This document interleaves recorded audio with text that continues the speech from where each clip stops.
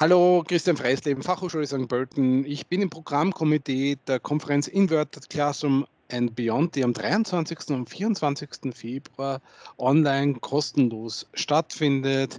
Bitte unbedingt noch anmelden. Und einer unserer Beitragenden habe ich hier, hier jetzt bei mir.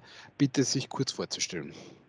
Hallo, mein Name ist Judith Rösten. Ich bin wissenschaftliche Mitarbeiterin an der Technischen Hochschule Köln im Bauingenieurwesen und habe jetzt zusammen mit der Technischen Universität Darmstadt ähm, promoviert in Kooperation und ich habe neben der ingenieurwissenschaftlichen Fragestellung ein Lehrkonzept entwickelt, mit dem es uns möglich sein soll, Studierende besser in Forschungsprojekte einzubinden im Rahmen der ganz normalen Labormodule, die wir haben. Gut, wie schaut dieses Lehrkonzept aus?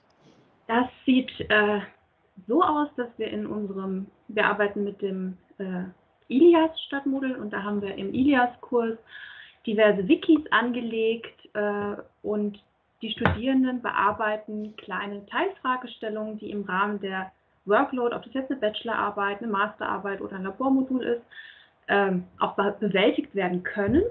Mhm. Und im Wiki sind neben den kompletten Grundlagen erstmal, wie funktioniert die Messtechnik, was ist eigentlich unser Thema, äh, was sind die Basics, die man wissen muss dazu.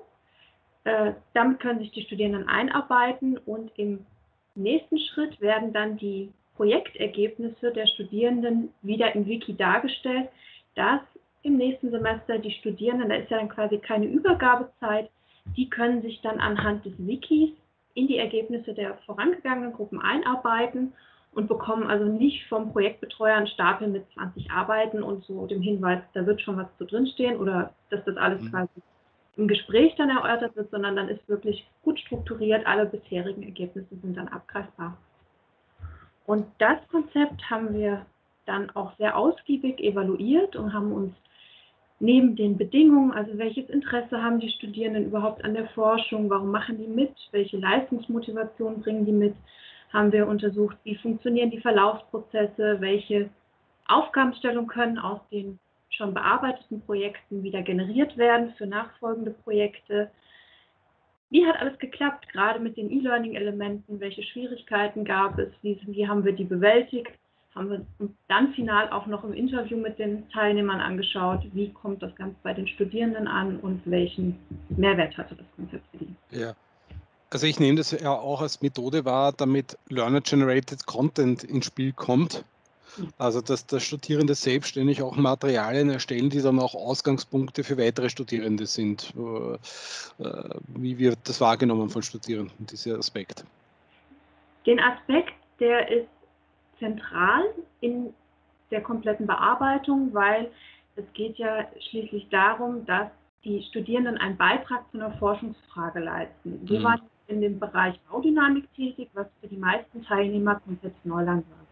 Also mhm. Baudynamik ist jetzt für uns ein Wahlpflichtmodul, das ist jetzt nicht, da wird jetzt nicht die Tür eingerannt, muss man ganz ehrlich sagen. Und das heißt, die meisten kamen mit sehr wenig Grundwissen her und haben dann teilgenommen, weil sie wollten auch mal eine Messung machen, mal Messtechnik in die Hand nehmen und sich dann anwendungsorientierter, als das ja sonst üblich ist, ein Projekt bearbeiten.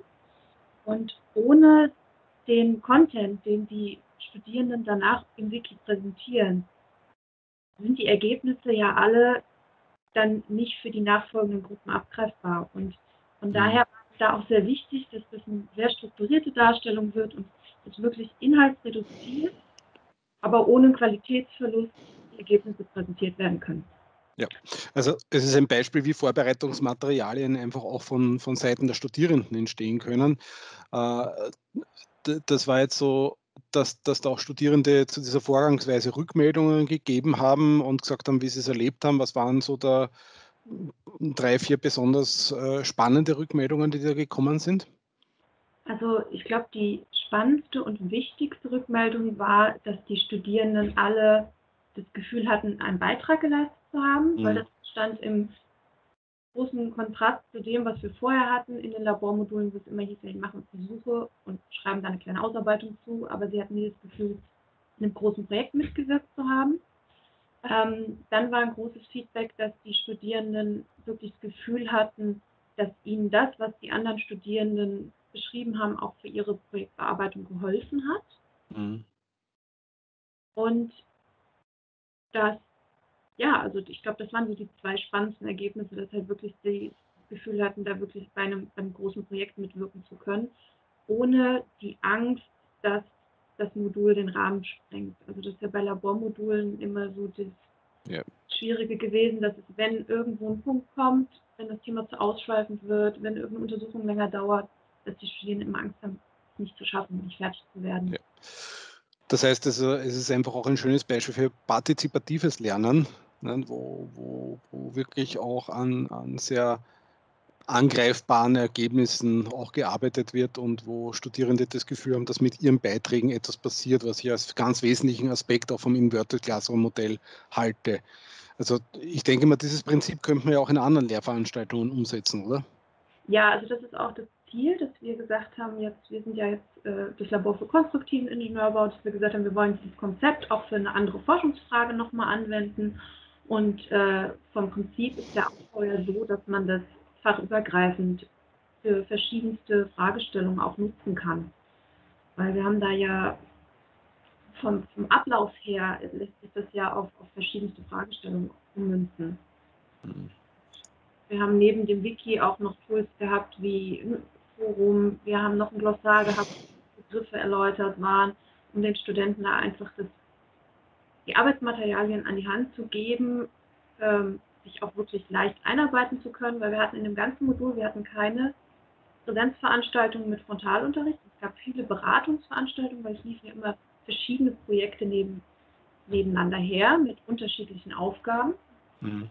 Und ähm, es gab immer Beratungen, wo die Studierenden Fragestellungen konnten und besprochen wurde, was ist der nächste Schritt in der Bearbeitung ist die Versuchskonzipierung, die sich die Studierenden überlegt haben, so in Ordnung oder muss man da jetzt dann irgendwie den nochmal ein bisschen Input geben, aber vom Prinzip lief das wirklich so, dass sich die Studierenden selbstständig äh, ihr Projekt erarbeitet haben mit dem Wiki. Gut, ja, ein wirklich schöner sehr passender Beitrag zu unserer Konferenz Inverted Classroom and Beyond am 23. und 24. Februar, gehostet von der Fachhochschule St. Pölten und wir freuen uns schon auf eine hochspannende Konferenz. Äh, bis dahin alles Gute.